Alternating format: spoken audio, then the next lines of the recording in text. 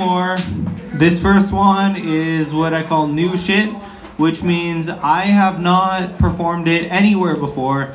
Y'all are the first ones to hear this out loud. That being said, something tells me y'all are gonna recognize it. So let's see. fingers up there, should I just put mine up there? I just, I just know. Uh, A duck walked up to a lemonade stand and asked the man running the stand, Hey, got any grapes? The man replied, No, we have none of those. We just have lemonade. Would you like a glass?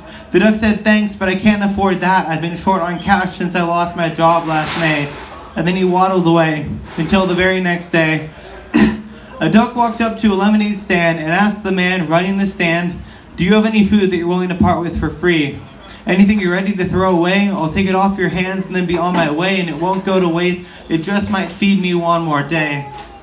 The man replied, How am I supposed to feed myself if I work for free? I had to buy these cups, this ice, this lemonade myself, and if I don't sell it, then I'll have no place to sleep. I too need to eat. The duck said, I know that all too well. The fate you fear becoming is what I call Sunday, Monday, Tuesday, and every day after, week after week. So just wait and see. Once you have to get by on what you can bum and steal, will you still have enough pride to cover your eyes anytime someone is struggling to survive on the other side of the blindfold? And then he waddled away until the very next day. A duck walked up to a lemonade stand and asked the man running the stand, Hey, can you please spare some change? The man replied, It's been a long time since I've seen any change that sat with me right.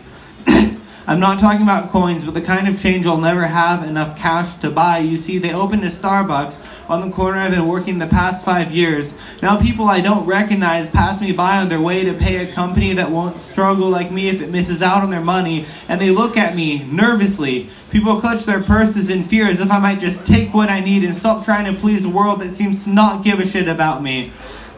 I had to flee to a different street because the cops threatened to ticket me last week. They said it's a crime to feed my community. The duck said, Stranger, you're no different than me.